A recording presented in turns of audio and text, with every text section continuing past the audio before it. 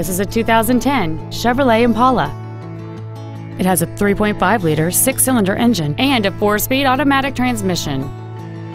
Features include XM satellite radio, aluminum wheels, a low-tire pressure indicator, a leather-wrapped steering wheel, performance tires, an engine immobilizer theft deterrent system, an illuminated driver's side vanity mirror, a traction control system, dual power seats, and this vehicle has fewer than 33,000 miles on the odometer.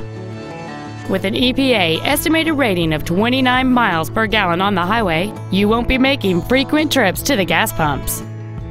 This Chevrolet has had only one owner, and it qualifies for the Carfax buyback guarantee.